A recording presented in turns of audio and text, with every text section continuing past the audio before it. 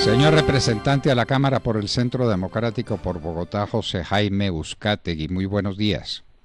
Muy buenos días, doctor Fernando. Un saludo especial para usted, su mesa de trabajo y toda la audiencia de la hora de la verdad. Buenos días.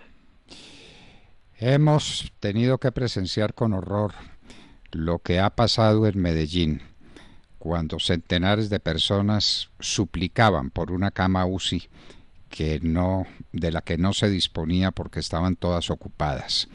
El horror que fue aquella cosa y los efectos para la salud de la gente, esos no nos los han acabado de contar.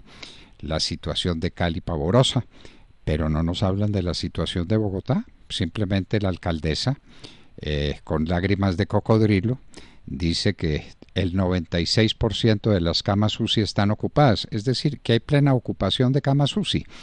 Y falta el brote de coronavirus que saldrá de estas aglomeraciones de los últimos días. Doctor Uzcategui, su punto de vista sobre estos asuntos. Sí, señor, ¿a quién se le ocurre que en pleno pico valga la pena fomentar estas marchas y protestas con el tinte violento que han tenido y que tengamos una alcaldesa que, que actúe como convidada de piedra en esta discusión.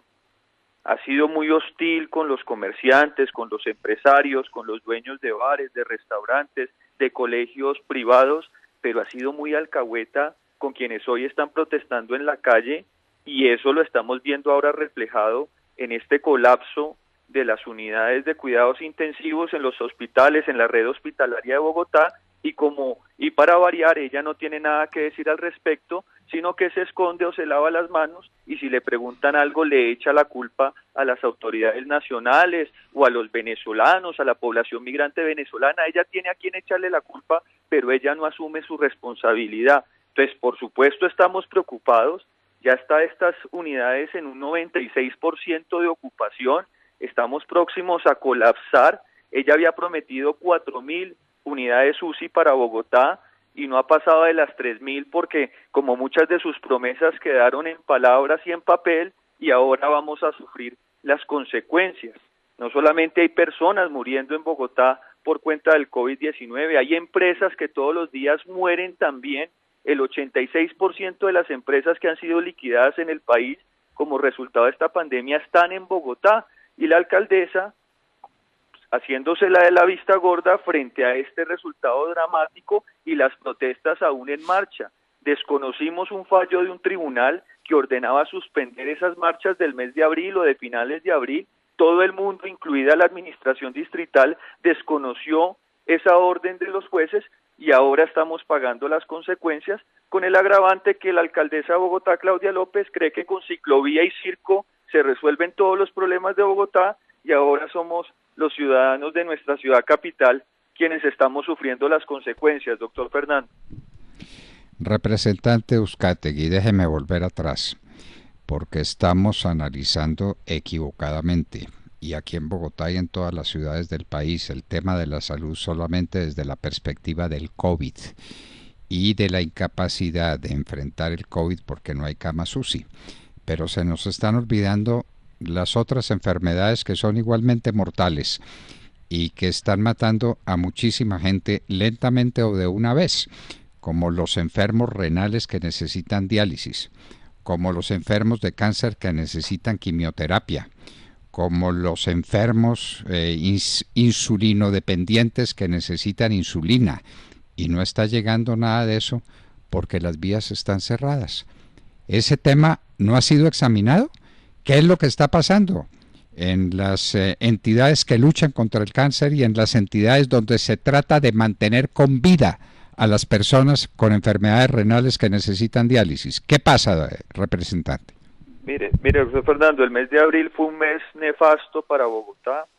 También hay que ver las cifras de delincuencia y de criminalidad que se dispararon con relación al año anterior incluso antes del inicio de este paro y de estas protestas violentas que permanecen en buena parte del país, aumentaron las lesiones personales, aumentaron los hurtos, aumentaron los homicidios, aumentó la extorsión y si a eso le agregamos que en medio de estas protestas incluso nuestros policías están siendo atacados con ácido en Bogotá, están marcando las casas de las familias de los policías también para vandalizarlas.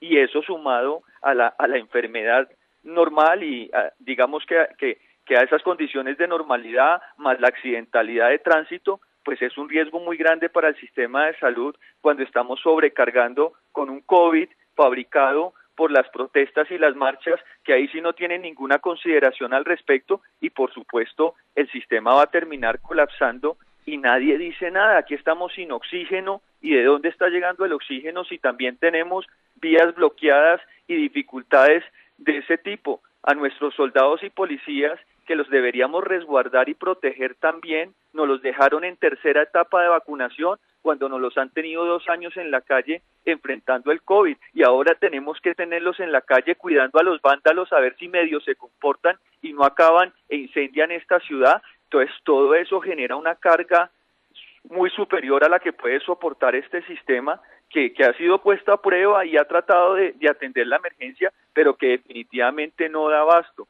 Entonces ahora creen que con un par de hospitales de campaña y que nos tienen un par de carpas en cuatro hospitales de la red hospitalaria de Bogotá, nos dice la administración que eso funciona, pues no. Y además de eso el plan de vacunación también muy lento porque aquí la alcaldesa es muy muy bravita para pedir vacunas, pero a la hora de ponerlas, hermano, ahí sí se queda corta y el plan de vacunación va rezagado. Y si además de eso tenemos que soportar no solamente los colados de Transmilenio que esta señora aguanta porque los aplaude cada vez que hacen daños y, y destrozos, también tenemos que ver los colados de la, del plan de vacunación donde hay cerca de mil contratistas del distrito que se han colado y han recibido vacunas cuando las deberían estar recibiendo son nuestros abuelos y adultos mayores que todavía están siendo vacunados. Es decir, que hay mucho por hacer y esto ha sido verdaderamente desastroso y todavía no sabemos qué impacto va a terminar de tener esto porque la administración distrital de Claudia López tiene al borde de la quiebra, no solamente al borde del colapso del sistema de salud, sino al borde de la quiebra a nuestro sistema de transporte masivo Transmilenio. Finalmente, ¿cuándo nos van a entregar el metro en estas condiciones? Nos habían dicho que en el 23 teníamos la primera línea del metro, ya la alcaldesa en su plan de desarrollo dice que en el 25 y ahora me imagino que se escudará en esta pandemia y en los destrozos que ella misma promueve con el vandalismo que, que se ha creado y ya me imagino que nos lo entregarán. Ojalá en este siglo podamos tener metro en Bogotá porque era un tema de honor y esta alcaldesa nos lo prometió y yo lo veo muy embolatado con esta mala administración que hemos tenido que presenciar en estos dos años. Representante José Jaime Uscate, que finalmente usted es representante por Bogotá, pero lo que pasa en Cundinamarca es definitivo para la salud y la tranquilidad de Bogotá. Las vías en Cundinamarca han estado cerradas, ciudades enteras han estado colapsadas como Zipaquirá dirigida por un partidario de Petro que decía que no cerraran las vías allá, que había que cerrar las vías que venían para Bogotá. Y entonces si eso pasa y tenemos a Tocancipá y tenemos a Gachancipá y tenemos La Calera y tenemos tantas ciudades de Cundinamarca que han sido bloqueadas y eso influye sobre los suministros agrícolas a Bogotá y sobre la paz de Bogotá. ¿Qué visión tiene usted sobre ese problema de Cundinamarca? Igualmente preocupados, doctor Fernando, nuestro proyecto de, región metropolitana está todavía en ciernes.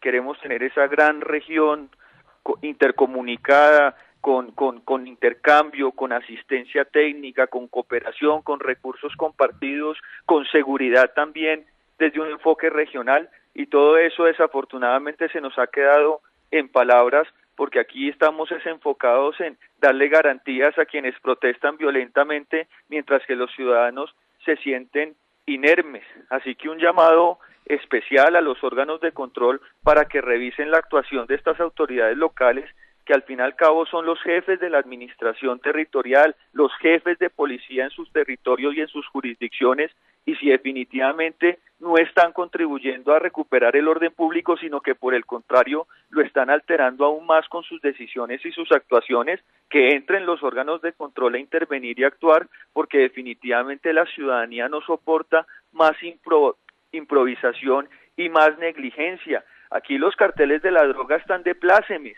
porque mientras tenemos a nuestra fuerza pública actuando, interviniendo, cuidando a los vándalos para ver que no sigan con sus destrozos y con sus desmanes, ellos seguirán traqueteando esos carteles como las FARC o el mismo cartel de los soles desde Venezuela deben estar de fiesta porque aprovechan estos escenarios para seguir delinquiendo. Yo frente al tema de Transmilenio quiero hacer un llamado especial porque en lugar de estar empezando en su ampliación, precisamente con los otros municipios de Cundinamarca, pues aquí vemos que estos paros de estos días nos han dejado al menos 3 mil millones de pesos en daños y en destrozos, y eso quién los va a pagar?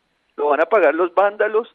Ya no nos gustó la reforma tributaria del presidente Duque de 14 billones para aguantarnos la reforma tributaria de los promotores del paro de 80 billones y de dónde va a salir la plata y por qué no cuidamos nuestro sistema de salud. Estos días me la he pasado visitando los diferentes CAIs de la ciudad y él, no me encuentro con extintores en un CAI y quién le corresponde ponerle el extintor si no es a la alcaldía mayor que tiene que garantizar también la vida y proteger a nuestros policías. Lo que está sucediendo en Soacha para hablar de Cundinamarca es terrible y no solamente seguimos en duelo por la muerte del capitán Jesús Solano a manos de estos delincuentes que lo apuñalearon más de cinco veces y hoy hay una niña de cinco años extrañando a su papá y todo un país en duelo por la muerte de un héroe de la patria y así sucesivamente. Así que un llamado al gobernador de Cundinamarca y por supuesto a la alcaldesa para que se pongan los pantalones y que empiecen a abogar por los derechos de la ciudadanía que trabaja desde la formalidad, que genera empleo y que genera prosperidad en este país y no a ponerse de lado de los delincuentes y los criminales que nos tienen azotados porque esta ciudad no aguanta más y por eso ese es un llamado que tenemos que hacer hoy por todos los canales posibles y le agradezco este espacio, doctor Fernando, para, para expresar estas ideas. Muchísimas gracias, representante José Jaime Uzcategui. Muy gentil por estar en la hora de la verdad.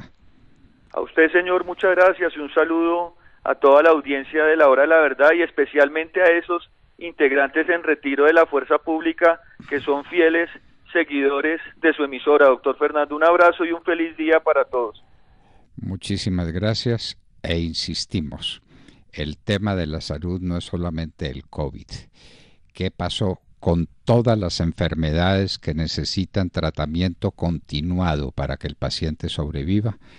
Como las diálisis para los enfermos renales, como las quimioterapias para los enfermos de cáncer, como la insulina para los insulino dependientes. ¿Qué pasa con todos ellos? Pues que están al borde de la muerte y que nadie habla por ellos. Aquí desde la hora de la verdad hablamos por todos los enfermos que no están recibiendo oportunamente los elementos para hacer su diálisis, su quimioterapia, para hacer sus tratamientos intensivos. José Jaime Uzcategui, representante a la Cámara por el Centro Democrático por Bogotá, estaba con nosotros en la hora de la verdad. Si tienes una pequeña o mediana empresa, súmate a Banca Pymes del Banco Agrario e impulsa tu negocio.